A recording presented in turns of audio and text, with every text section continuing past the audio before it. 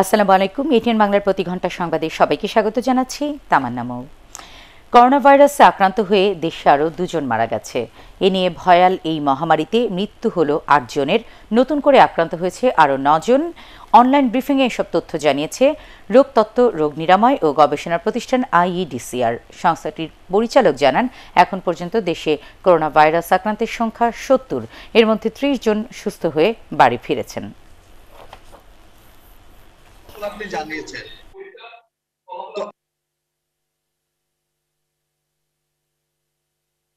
আমরা খুব দুঃখের সাথে জানাচ্ছি যে এই গত চব্বিশ ঘন্টায় আরও দুজনের, দুজন মৃত্যুবরণ করেছেন, যার মধ্যে একজন এই গত চব্বিশ ঘণ্টা যারা শনাক্ত হয়েছেন, তাদের মধ্যে একজন আর একজন আছেন যিনি আগেই শনাক্ত হয়েছিলেন। এই দুজন যারা মৃত্যুবরণ করেছেন, তাদের বয়স একজনের নব্বই বছর এবং আরেকজনের বয়স আটষট্টি বছর। এদের মধ্যে একজন ঢাকার বাইরে, আরেকজন ঢাকায়।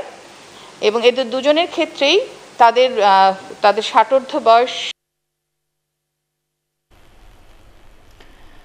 করোনা ভাইরাস সংক্রমণ পরিস্থিতিতে দরিদ্র ও নিম্ন আয়ের মানুষকে বাঁচানোর পাশাপাশি দেশের অর্থনৈতিক ক্ষতিপূরণে সরকারকে সাতাশি হাজার কোটি টাকার একটি প্যাকেজ ঘোষণার প্রস্তাব দিয়েছে বিএনপি। চেয়ারপারসনের গুলশান কার্যালয়ে সংবাদ সম্মেলনে দলের মহাসচিব মির্জা ফখরুল ইসলাম আলমগীর স্বল্পমেয়াদী একষট্টি হাজার কোটি ও মধ্যমেয়াদে আঠারো হাজার কোটি টাকা বরাদ্দের এর প্রস্তাবনা দেন। এ সময় তিনি অভিযোগ করেন করোনা ভাইরাস শনাক্তে পরীক্ষা ও আক্রান্তের সংখ্যা পরিসংখ্যান নিয়ে জনমনে প্রশ্ন দেখা দিয়েছে।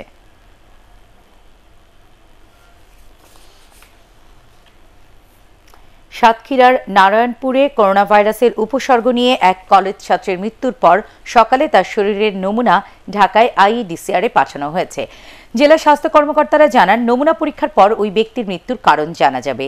এ ঘটনার পর তাদের আশপাশের পাঁচটি বাড়ি লকডাউন করা হয়েছে। স্থানীয়রা জানান, গত সপ্তাহ খানেক ধরে জ্বর, শরীর ব্যথা ও শ্বাসকষ্টে ভুগছিলেন ওই যুবক। এরপর একজন পল্লী চিকিৎসকের পরামর্শ নিয়ে তিনি ওষুধ সেবন করছিলেন। শুক্রবার রাতে তার মৃত্যু হয়।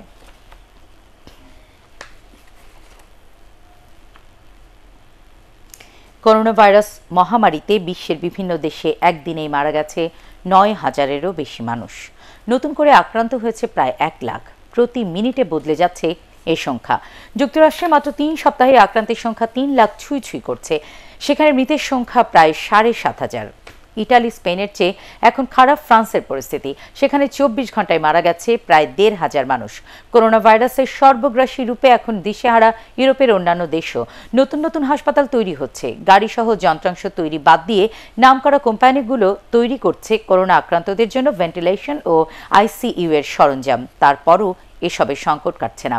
হিমশিম খাচ্ছেন চিকিৎসক ও স্বাস্থ্যকর্মীরা। পরিস্থিতি কোন দিকে যায় তা নিয়ে উদ্বিগ্ন বিশ্ব নেতারা।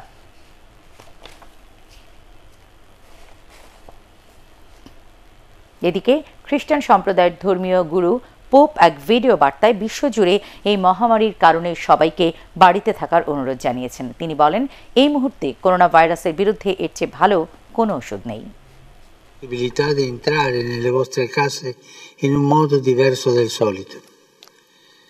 Se lo permettete vorrei conversare con voi per qualche istante in questo periodo di difficoltà e di sofferenze. পরবর্তী সংবাদ দেখার আমন্ত্রণ জানিয়ে এখনকার মতো শেষ করছি। সবাই ঘরে থাকুন, নিরাপদে থাকুন। এটিএন বাংলা সংবাদ ইউটিউবে দেখতে ব্রাউজ করুন।